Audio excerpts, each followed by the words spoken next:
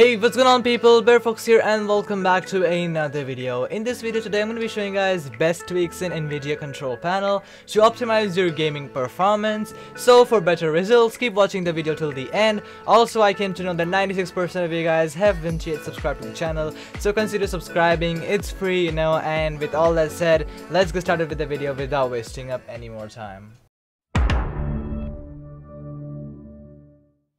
Alright, the first step is to go to the link in the description below and you'll be heading to a page like this.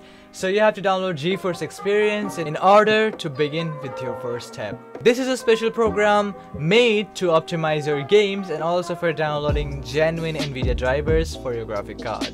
So you have to hit download now, install the software, you'll be coming to a screen like this. Now all you have to do is go to the driver section and then hit express installation if there are any updates available for the new graphics card.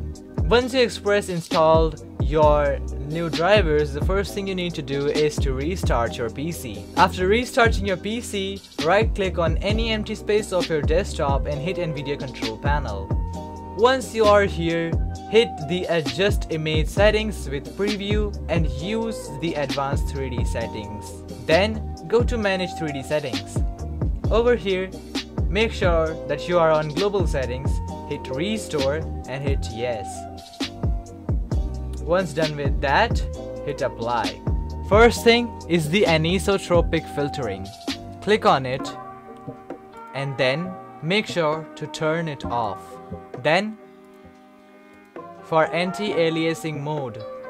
Click on it and turn off. Then, for the CUDA GPUs, hit all and then make sure you select your graphics card and hit OK. Then, scroll down, OpenGL Rendering GPU. From Auto Select, use the GPU you have. Then, Power Management Mode. From Optimal Power, to prefer maximum performance. Then, texture filter quality. From quality, go to high performance. Then, texture filtering, trilinear optimization. From on to off. Then, Vertical sync. From use the 3D application settings to off. Once done with that, hit apply. Then go to configure sound PhysX. From processor auto select, choose the graphics card that you have.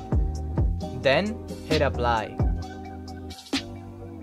Then for display, go to change resolution and then make sure you are using the native resolution on the highest refresh rate that your PC can allow.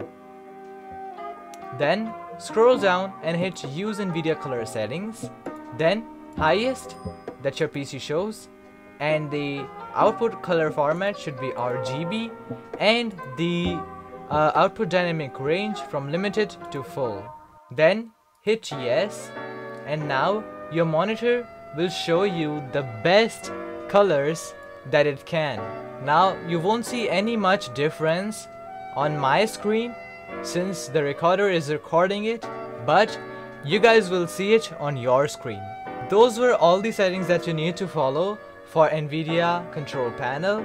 I hope this video helps you out. If it does, make sure to leave a like and consider subscribing to the channel for more awesome guide like this.